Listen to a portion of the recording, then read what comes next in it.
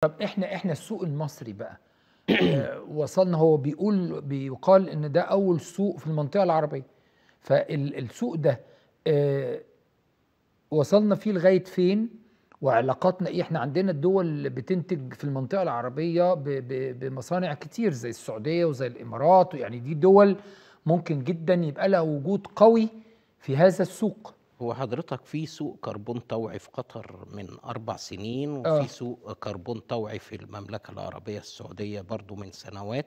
آه. آآ إحنا يعني بدأنا عمل كبير من خلال هذا السوق، وأكيد الشركات الموضوع اللي اللي ابتدت في هذا الموضوع هتبحث عن وسيلة عشان تنفذ بيها إلى العالمية، وإن ال الشهادات تتداول عالميًا آه، مش عشان تبقى محليًا سعرها بس. أعلى كمان. ب بالضبط، وتبقى أصل الموضوع الصرامة في الشفافية آه. هي أساس ال هذا الموضوع، يعني إيه الصرامة في الشفافية؟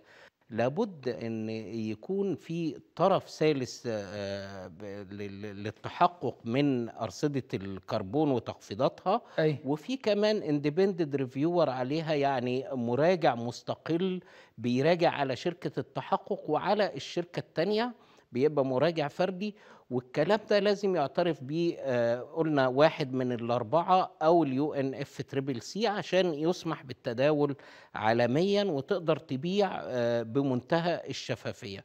ولكن سوق الكربون الإلزامي آآ دي خطوة كبيرة على الطريق للوصول إلى سوق الكربون الإلزامي، وكانت سعادة وزيرة البيئة آآ صرّحت إن دي خطوة على الطريق، وممكن خلال سنتين نصل إلى سوق الكربون الإلزامي، وسوق الكربون الإلزامي أو سوق الامتثال ده ضروري جدًا إن إحنا نوصل له، لإن بعد ال القانون الأوروبي ال CBAM آلية تعديل حدود الكربون، وبيطلب من كل دولة أو من كل مصدر سعر الكربون في دولته، إمم. فسعر الكربون في سوق الكربون الإلزامي بيتحدد بناءً على آآ يعني آلية آلية تبادل الانبعاثات، وبيبقى اسمه سوق تبادل الانبعاثات، وفي ال ال ال ال شهادات الكربون بتبقى بسعر عالي جدًا، لإن أنت ما فيش مجال هنا إنك ما يكونش في شفافية، إمم.